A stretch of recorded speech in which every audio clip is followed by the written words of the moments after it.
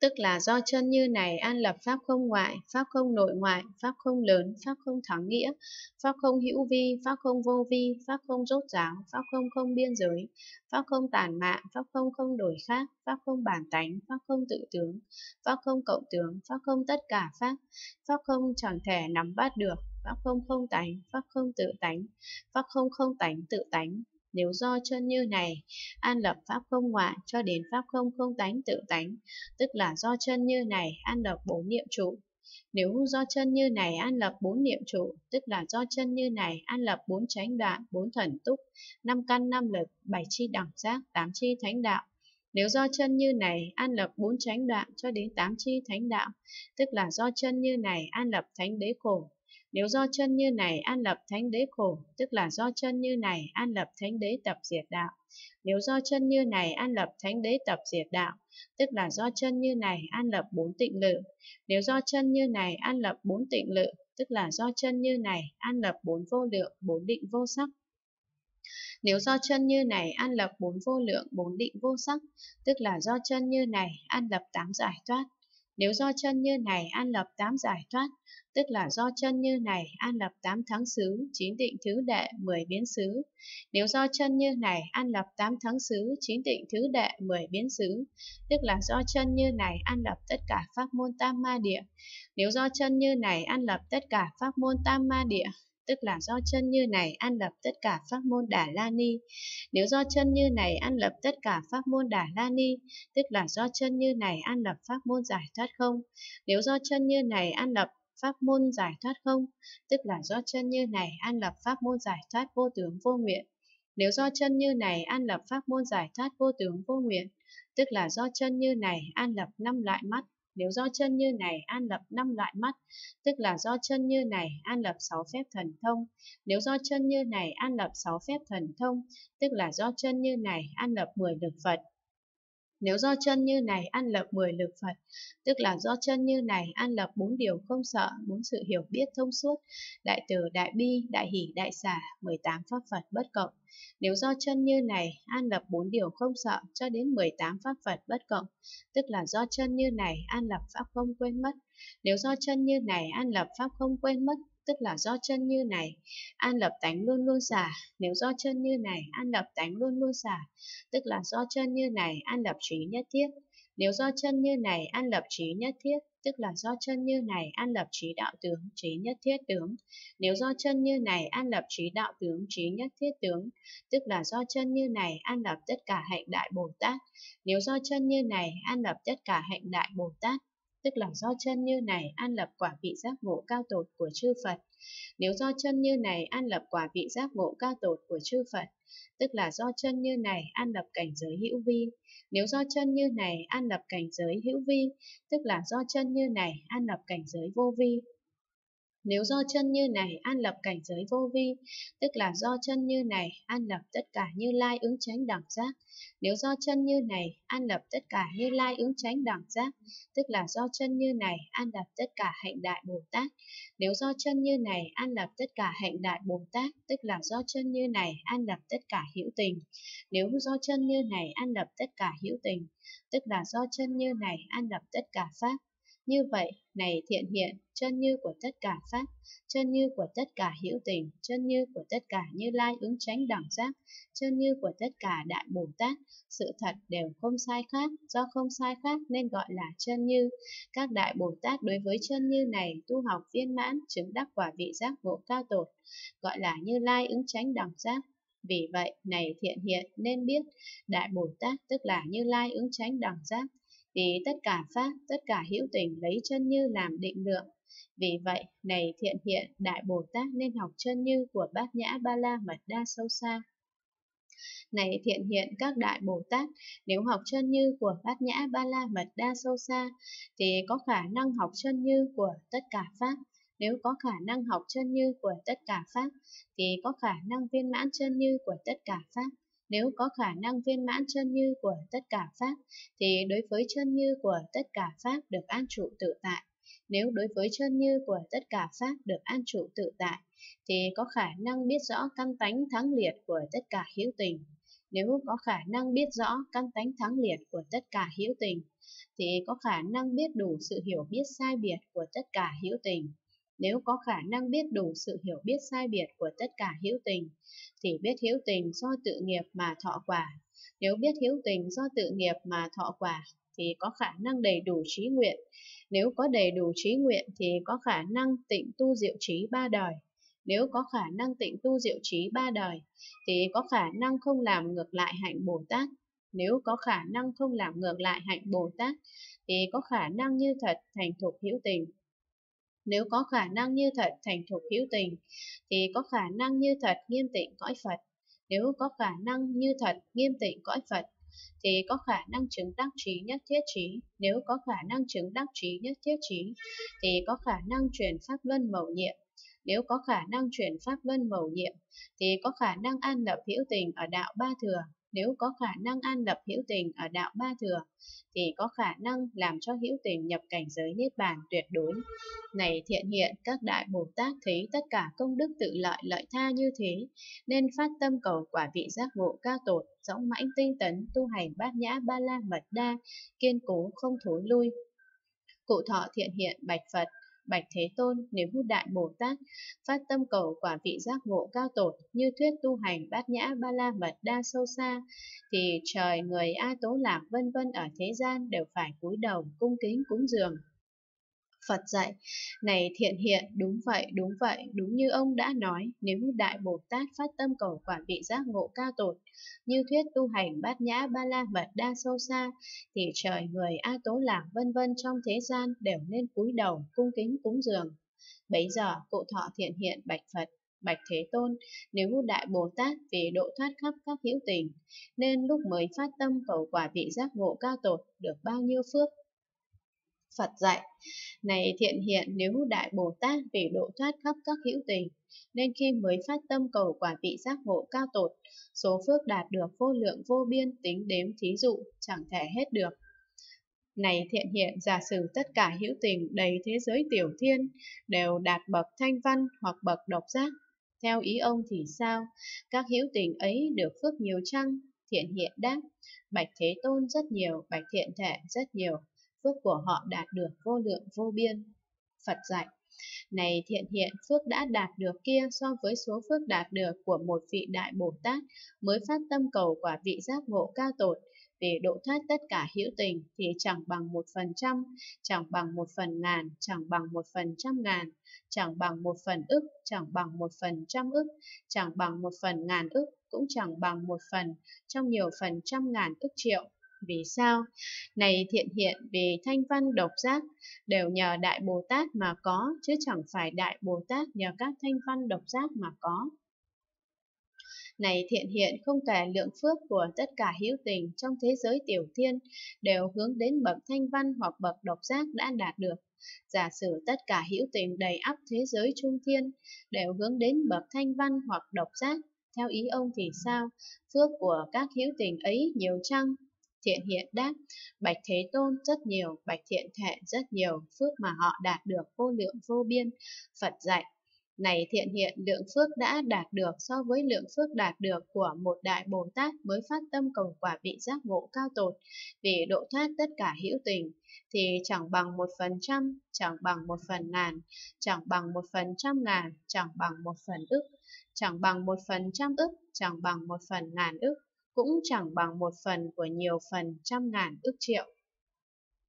Này thiện hiện, không kể lượng phước của tất cả hữu tình trong thế giới trung thiên, hướng đến bậc thanh văn hoặc độc giác đạt được. Giả sử tất cả hữu tình đầy áp thế giới tam thiên đại thiên đều hướng đến bậc thanh văn hoặc độc giác. Theo ý ông thì sao, phước của các hữu tình ấy nhiều chăng?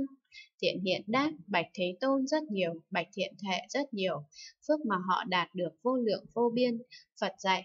này thiện hiện lượng phước mà họ đạt được so với lượng phước của một đại Bồ Tát mới phát tâm cầu quả vị giác ngộ cao tột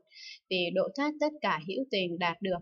thì chẳng bằng một phần trăm, chẳng bằng một phần ngàn, chẳng bằng một phần ức, chẳng bằng một phần trăm ức, chẳng bằng một phần ngàn ức, cũng chẳng bằng một phần trong nhiều phần trăm ngàn ức triệu. Này thiện hiện không kể lượng phước của tất cả hữu tình, trong thế giới tam thiên đại thiên đều hướng đến bậc thanh văn hoặc độc giác đạt được. Giả sử tất cả hữu tình đẩy áp thế giới tam thiên đại thiên đều an trụ ở bậc tịnh quán. Theo ý ông thì sao? Lượng phước của các hữu tình ấy nhiều chăng? Thiện hiện đáp, bạch thế tôn rất nhiều, bạch thiện thể rất nhiều, phước mà họ đạt được vô lượng vô biên. Phật dạy, này thiện hiện, lượng phước mà họ đạt được so với lượng phước của một đại Bồ Tát mới phát tâm, cầu quả vị giác ngộ cao tột vì độ thoát tất cả hữu tình đạt được, thì chẳng bằng một phần trăm, chẳng bằng một phần ngàn, chẳng bằng một phần trăm ngàn, chẳng bằng một phần ức, chẳng bằng một phần trăm ức, chẳng bằng một phần ngàn ức, cũng chẳng bằng một phần trong nhiều phần của trăm ngàn ức triệu. Này thiện hiện không kể lượng phước của tất cả hữu tình đang trụ bậc tịnh quán trong thế giới đại thiên, giả sử tất cả hữu tình đầy áp thế giới tam thiên đại thiên đều trụ ở bậc trùng tánh. Theo ý ông thì sao, lượng phước của các hữu tình ấy nhiều chăng? Thiện hiện đáp, bạch thế tôn rất nhiều, bạch thiện thể rất nhiều, phước mà họ đạt được vô lượng vô biên. Phật dạy, này thiện hiện, lượng phước mà họ đạt được so với lượng phước của một đại Bồ Tát mới phát tâm cầu quả vị giác ngộ cao tổn để độ thoát tất cả hữu tình đạt được,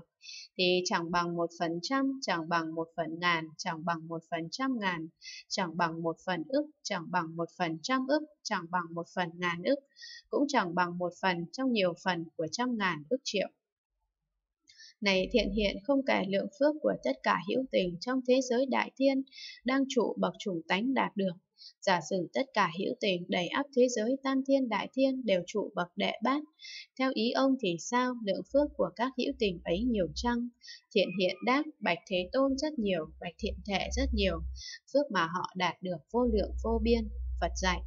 này thiện hiện lượng phước mà họ đạt được so với lượng phước của một đại Bồ Tát mới phát tâm cầu quả vị giác ngộ ca tột vì độ thoát tất cả hữu tình đạt được,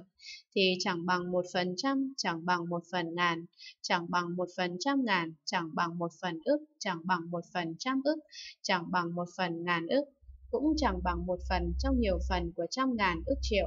Này thiện hiện, không kể lượng phước của tất cả hữu tình trong thế giới đại thiên đều trụ bậc đệ bát đạt được, giả sử tất cả hữu tình, đầy ắp thế giới tam thiên đại thiên đều trụ bậc kiến.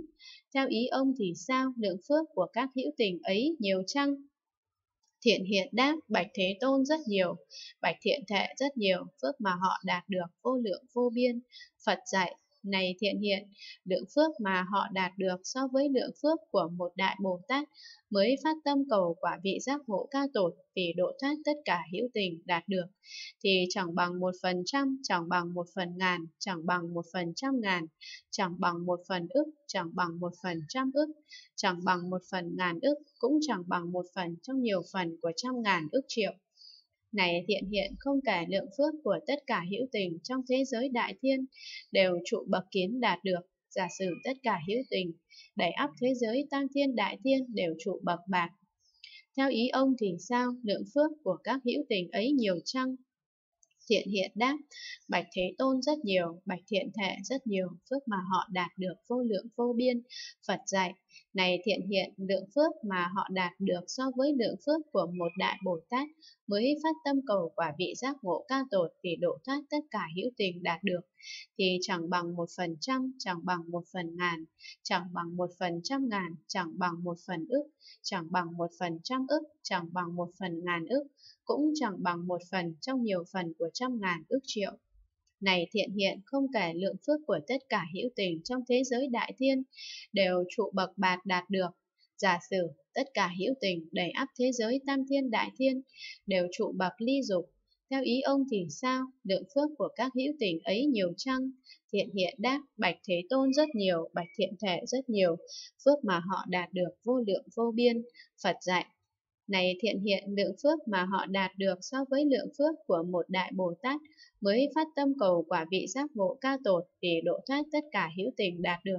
thì chẳng bằng một phần trăm, chẳng bằng một phần ngàn, chẳng bằng một phần trăm ngàn, chẳng bằng một phần ức, chẳng bằng một phần trăm ức, chẳng bằng một phần ngàn ức, cũng chẳng bằng một phần trong nhiều phần của trăm ngàn ức triệu.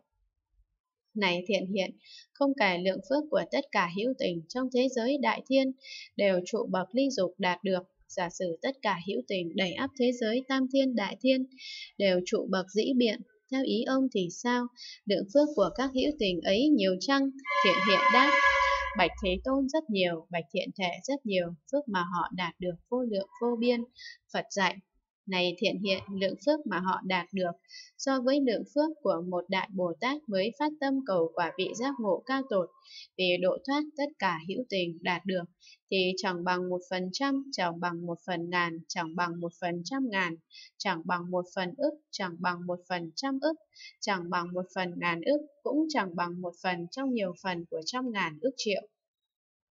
Này thiện hiện không kể lượng phước của tất cả hữu tình trong thế giới đại thiên đều trụ bậc dĩ biện đạt được. Giả sử tất cả hữu tình, đẩy áp thế giới tam thiên đại thiên đều trụ bậc độc giác. Theo ý ông thì sao? Lượng phước của các hữu tình ấy nhiều chăng? Thiện hiện đáp, Bạch Thế Tôn rất nhiều, Bạch Thiện Thể rất nhiều, phước mà họ đạt được vô lượng vô biên. Phật dạy, này thiện hiện lượng phước mà họ đạt được so với lượng phước của một đại Bồ Tát mới phát tâm cầu quả vị giác ngộ cao tột vì độ thoát tất cả hữu tình đạt được thì chẳng bằng một phần trăm, chẳng bằng một phần ngàn, chẳng bằng một phần trăm ngàn, chẳng bằng một phần ức, chẳng bằng một phần trăm ức, chẳng bằng một phần ngàn ức, cũng chẳng bằng một phần trong nhiều phần của trăm ngàn ức triệu. Này thiện hiện giả sử tất cả hữu tình đầy ắp cả thế giới tam thiên đại thiên đều vì độ thoát tất cả hữu tình nên mới phát tâm cầu quả vị giác ngộ cao tột thì lượng phước của các đại Bồ Tát ấy đạt được so với lượng phước của một đại Bồ Tát nhập chánh tánh ly sanh chẳng bằng một phần trăm, chẳng bằng một phần ngàn, chẳng bằng một phần trăm ngàn, chẳng bằng một phần ức, chẳng bằng một phần trăm ức, chẳng bằng một phần ngàn ức, cũng chẳng bằng một phần trong nhiều phần của trăm ngàn ức triệu. Này thiện hiện, giả sử tất cả hữu tình đầy ắp cả thế giới tam thiên đại thiên, đều nhập tránh tánh đi sanh của Bồ Tát, thì lượng phước của các đại Bồ Tát ấy đạt được so với lượng phước của một đại Bồ Tát hành Bồ Đề hướng thì chẳng bằng một phần trăm, chẳng bằng một phần ngàn, chẳng bằng một phần trăm ngàn, chẳng bằng một phần ức, chẳng bằng một phần trăm ức, chẳng bằng một phần ngàn ức, cũng chẳng bằng một phần trong nhiều phần của trăm ngàn ức triệu này thiện hiện, giả sử tất cả hữu tình đầy ắp cả thế giới tam thiên đại thiên đều hành bồ đề hướng, thì lượng phước mà các đại Bồ Tát ấy đạt được đối với lượng phước đạt được của một như lai ứng chánh đẳng giác thì chẳng bằng một phần trăm, chẳng bằng một phần ngàn, chẳng bằng một phần trăm ngàn, chẳng bằng một phần ức, chẳng bằng một phần trăm ức, chẳng bằng một phần ngàn ức, cũng chẳng bằng một phần trong nhiều phần của trăm ngàn ức triệu. Bấy giờ cụ thọ thiện hiện bạch Phật, Bạch Thế Tôn, Đại Bồ Tát mới phát tâm cầu quả vị giác ngộ ca tột, tư duy điều gì? Phật dạy.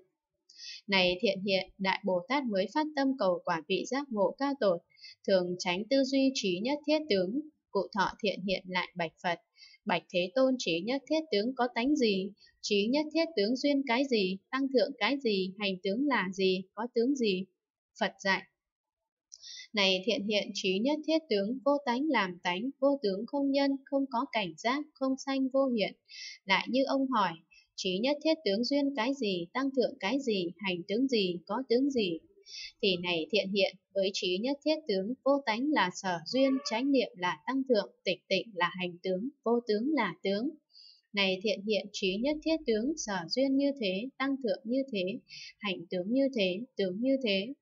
Cụ thọ thiện hiện lại bạch Phật. Bạch Thế Tôn, có phải chỉ có trí nhất thiết tướng lấy vô tánh làm tánh, hay là sắc thọ tưởng hành thức cũng lấy vô tánh làm tánh, hay nhãn xứ, nhĩ tĩ thiệt thân ý xứ cũng lấy vô tánh làm tánh, hay sắc xứ, thanh hương vị xúc pháp xứ cũng lấy vô tánh làm tánh, hay nhãn giới, nhĩ tĩ thiệt thân ý giới cũng lấy vô tánh làm tánh, hay sắc giới, thanh hương vị xúc pháp giới cũng lấy vô tánh làm tánh, hay nhãn thức giới, nhĩ tĩ thể thân ý thức giới cũng lấy vô tánh làm tánh, hay nhãn xúc, nhĩ tĩ thể thân ý xúc cũng lấy vô tánh làm tánh, hay các thọ do nhãn xúc làm duyên sanh ra, các thọ do nhĩ tĩ thể thân ý xúc làm duyên sanh ra cũng lấy vô tánh làm tánh, hay địa giới, thủy hỏa phong không thức giới cũng lấy vô tánh làm tánh, hay vô minh, hành, thức, danh sắc, lục xứ, xúc thọ ái thủ hữu, sanh lão tử, sầu, than khổ, yêu não, cũng lấy vô tánh làm tánh hay pháp nội pháp ngoại, cũng lấy vô tánh làm tánh, hay bốn tịnh lự, bốn vô lượng, bốn định vô sắc, cũng lấy vô tánh làm tánh, hay bốn niệm trụ, bốn chánh đoạn, bốn thần túc, năm căn năm lực, bảy chi đẳng giác, tám chi thánh đạo, cũng lấy vô tánh làm tánh, hay pháp môn giải thoát công, pháp môn giải thoát vô tướng, vô nguyện, cũng lấy vô tánh làm tánh, hay tám giải thoát, tám thắng xứ, chín định thứ đệ, mười biến xứ, cũng lấy vô tánh làm tánh, hay bố thí ba la mật đa, tịnh giới an nhẫn, tinh tấn tịnh lự, bát nhã ba la mật đa cũng lấy vô tánh làm tánh, hay pháp không nội, pháp không ngoại, pháp không nội ngoại, pháp không không, pháp không lớn, pháp không thắng nghĩa, pháp không hữu vi, pháp không vô vi, pháp không rốt ráo, pháp không không biên giới, pháp không tàn mạn, pháp không không đổi khác, pháp không bản tánh, pháp không tự tướng, pháp không cộng tướng, pháp không tất cả pháp, pháp không chẳng thể nắm bắt được, pháp không không tánh, pháp không tự tánh, pháp không không tánh tự tánh cũng lấy vô tánh làm tánh. Hay thánh đế khổ, thánh đế tập diệt đạo cũng lấy vô tánh làm tánh. Hay tất cả pháp môn tam ma địa, tất cả pháp môn đà la ni cũng lấy vô tánh làm tánh. Hay mười lực Phật, bốn điều không sợ, bốn sự hiểu biết thông suốt, đại từ, đại bi, đại hỷ, đại xả. 18 pháp Phật bất cộng cũng lấy vô tánh làm tánh hay pháp không quên mất, tánh luôn luôn xả, cũng lấy vô tánh làm tánh, hay trí nhất thiết, trí đạo tướng, cũng lấy vô tánh làm tánh. Hai loại mắt thứ nhất, thứ hai, thứ ba, thứ tư, thứ năm cũng lấy vô tánh làm tánh. Hai phép thần thông thứ nhất, thứ hai, thứ ba, thứ tư, thứ năm, thứ sáu cũng lấy vô tánh làm tánh. Hay cảnh giới hữu vi, cảnh giới vô vi cũng lấy vô tánh làm tánh. Phật dạy này thiện hiện chẳng phải chỉ có trí nhất thiết tướng lấy vô tánh làm tánh, mà sắc thọ tưởng hành thức cũng lấy vô tánh làm tánh, nhãn xứ, nhĩ tĩ thiệt thân ý xứ cũng lấy vô tánh làm tánh, sắc xứ, thanh hương vị xúc pháp xứ cũng lấy vô tánh làm tánh. Nhãn giới, nhĩ tĩ thiệt thân ý giới cũng lấy vô tánh làm tánh, sắc giới, thanh hương vị xúc pháp giới cũng lấy vô tánh làm tánh, nhãn thức giới, nhĩ tĩ thiệt thân ý thức giới cũng lấy vô tánh làm tánh, nhãn xúc, nhĩ tĩ thiệt thân ý xúc cũng lấy vô tánh làm tánh, các thọ do nhãn xúc làm duyên sanh ra, các thọ do nhĩ tĩ thiệt thân ý xúc làm duyên sanh ra cũng lấy vô tánh làm tánh, địa giới, thủy hỏa, phong không thức giới cũng lấy vô tánh làm tánh, vô minh, hành, thức, danh sắc, lục xứ, xúc, thọ, ái, thủ, hữu, sanh, lão tử, sầu, than khổ, yêu não cũng lấy vô tánh làm tánh, pháp nội, pháp ngoại cũng lấy vô tánh làm tánh, bốn tịnh lự, bốn vô lượng, bốn định vô sắc cũng lấy vô tánh làm tánh, bốn niệm trụ, bốn tránh đoạn, bốn thần túc, năm căn, năm lực, bảy chi đẳng giác, tám chi thánh đạo cũng lấy vô tánh làm tánh, pháp môn giải thoát không, pháp môn giải thoát vô tướng vô nguyện cũng lấy vô tánh làm tánh, tám giải thoát, tám thắng xứ, chín định thứ đệ, mười biến xứ cũng lấy vô tánh làm tánh. Bố thí ba la mật đa, tịnh giới an nhẫn, tinh tấn tịnh lự, bát nhã ba la mật đa cũng lấy vô tánh làm tánh, pháp không nội, pháp không ngoại, pháp không nội ngoại, pháp không không, pháp không lớn, pháp không thắng nghĩa, pháp không hữu vi, pháp không vô vi, pháp không rốt ráo, pháp không không biên giới, pháp không tàn mạn, pháp không không đổi khác,